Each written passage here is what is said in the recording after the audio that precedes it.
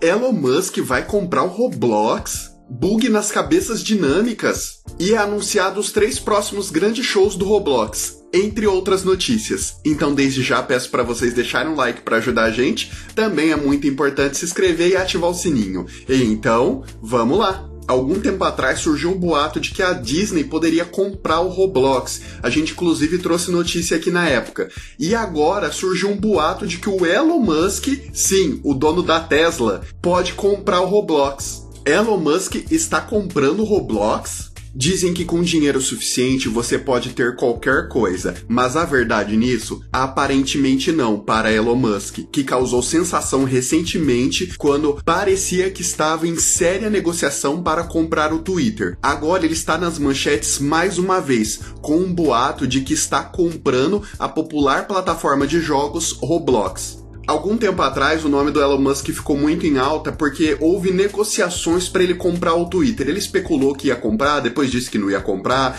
depois disse que ia comprar e ficou nesse joga e joga, não joga. E no fim ele acabou não comprando o Twitter, o que fez com que só as ações do Twitter caíssem, causasse grande prejuízo para a empresa e acabou não levando em nada essa compra agora surgiu o boato de que ele estaria comprando o Roblox. Com o crescimento do Roblox como uma das maiores plataformas do metaverso, surgiu o boato de que o Elon Musk poderia estar comprando o Roblox. Mas será que isso é verdade? Você provavelmente está se perguntando como essa formação foi iniciada, ou melhor ainda, por que no mundo um empresário rico gostaria de adquirir um jogo online? Para nenhuma surpresa, é tudo graças ao Twitter. Tudo isso começou como uma brincadeira de pessoas pedindo pro Elon Musk comprar o Roblox me ou melhorar a plataforma. Depois que houve toda a especulação do Elon Musk tentar comprar o Twitter, começou a surgir essa piada. Qualquer coisa que as pessoas não gostavam, elas tweetavam pedindo pro Elon Musk comprar. Ah, eu não tô gostando da Netflix, vai lá Elon Musk, compra a Netflix. Ah, eu não tô gostando da Lego, vai lá Elon Musk, compra a Lego. Então houve essa brincadeira também das pessoas começarem a pedir pro Elon Musk comprar o Roblox provavelmente por causa das mudanças que o Roblox tem sofrido. Muita gente que é jogador mais antigo do Roblox está hateando um pouco isso. Então começou a surgir de pessoas pedirem pro Elon Musk comprar o Roblox. Por fim, não há evidências concretas de que o bilionário esteja comprando o Roblox, mostrando que o boato é apenas um caso de pessoa se divertindo na internet. O próprio homem não fez nenhum tweet sugerindo isso ou nenhuma oferta para comprá-lo.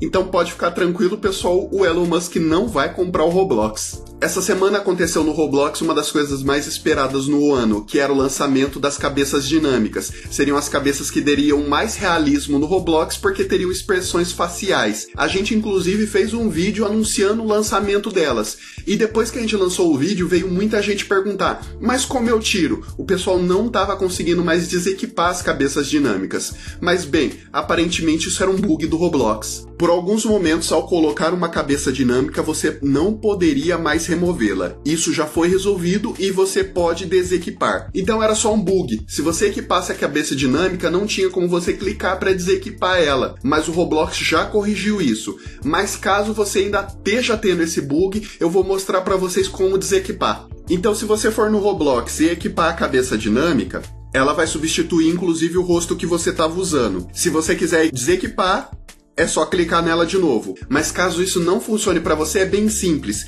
Vai em personagens, ou criação ou comprados, tanto faz.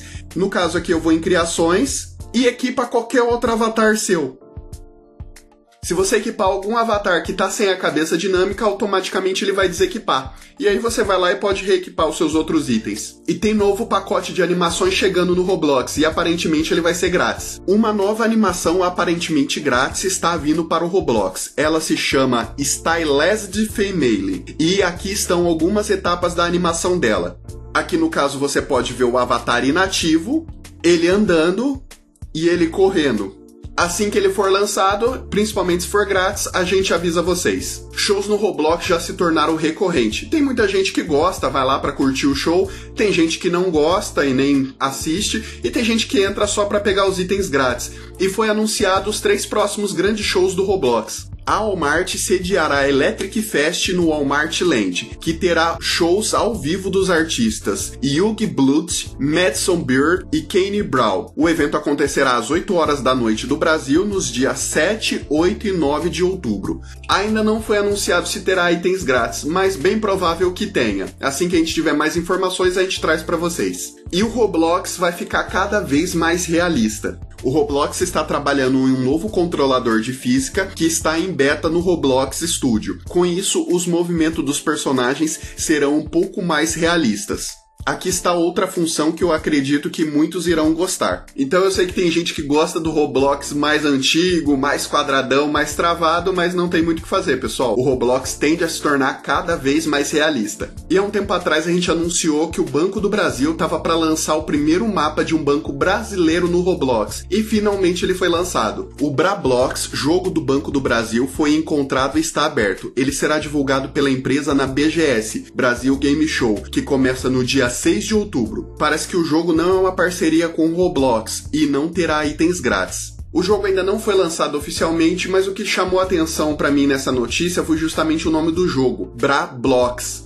E a gente lembra que algum tempo atrás o Roblox mudou as diretrizes da marca e não poderiam mais ser lançados jogos com o nome Blocks ou Roblox. Jogos mais antigos que já existissem com esse nome poderiam usar, mas jogos novos não poderiam usar. E eu falei, ué, por que, que o Banco do Brasil tá usando Blocks no nome? Inclusive, eu até comentei nessa notícia questionando isso e eu fui dar uma investigada. Como vocês podem ver pelo vídeo que a gente lançou na época, essa proibição foi em junho de 2022. Só que apesar do mapa do Banco do Brasil estar tá sendo liberado agora, ele foi criado no Roblox no dia 20 de abril de 2022. Então foi antes da proibição do nome. Por isso que ele consegue usar o nome Blocks. Bem, pessoal, a gente vai ficando por aqui então. Essa semana foi mais fraca de notícias, mas a gente está tentando manter vocês atualizados de tudo o que está acontecendo no Roblox. Caso tenha gostado, deixa um like para ajudar a gente e se não for inscrito ainda, se inscreve e ativa o sininho. Vamos ficando por aqui. Até a próxima, pessoal. Tchau.